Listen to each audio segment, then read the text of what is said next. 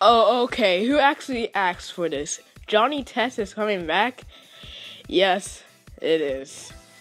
March 15, which is today when I'm recording this, Johnny Test has been announced to be coming back on Johnny Test's YouTube channel. The show ended like December 25th, 2014 on Cartoon Network on Cartoon Network, which is not even five years ago yet, but somebody thought it was good, good enough to get a revival. And it's pretty weird now. Johnny Test is coming back by Wild which actually is the one who copyrights videos of Johnny Test full episodes, so yeah, Wild has a part of this. Also, people on Twitter are getting like confused over this. Tons of tons of tweets and posts and everything about this new Johnny Test that nobody knew. Nobody knows if it's going to be a reboot or a revival. Nobody knows yet. But all I know is this going to be new and weird.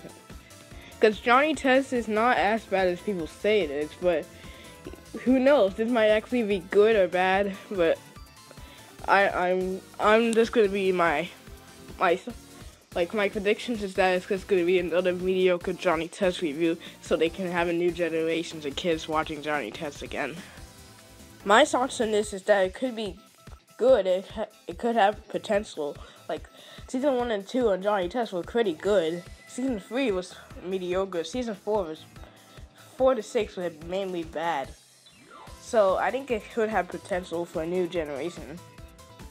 And what network is going on? I think it's probably going to be on Cartoon Network still. Instead, I mean, people, some people might say it'll be on Netflix because the whole show's on Netflix, but I doubt that.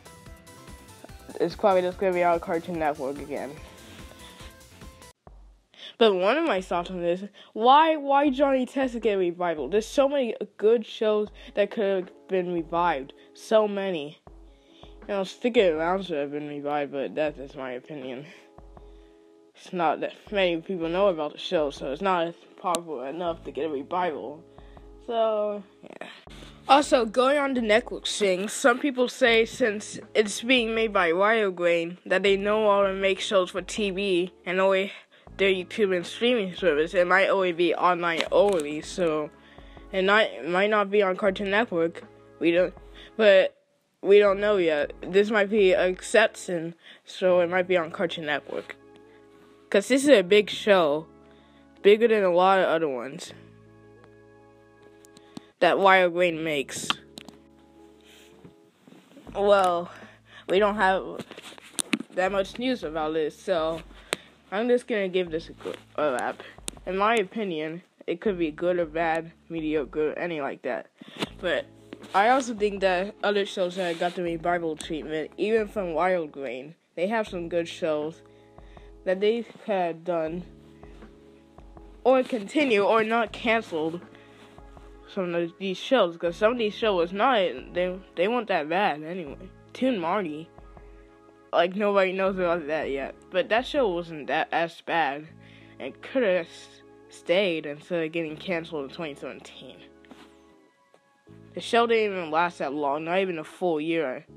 So it's just it's just why? Why? Not even after half a decade since it got canceled. Why Johnny Test? Why out of any other show that they have in their catalog that they could have rebooted? Even Caillou could have been good. Even Caillou could have been rebooted or something like that. But no, they chose Johnny Test to get most people angry or probably and get attention. Because to be honest, they nobody would care if they had a Caillou reboot, but they would care if Johnny Test was coming back. Because Johnny Test has more of a hate them than Caillou now. And no, I'm not kidding. Caillou used to be like hated a lot, like by everyone, but now nobody cares about Caillou. People moved on to other shows to hate on, and Johnny Test is one of them. Well, that's my thoughts on this this Johnny Test reboot. Let's just hope it will be better than seasons four to six.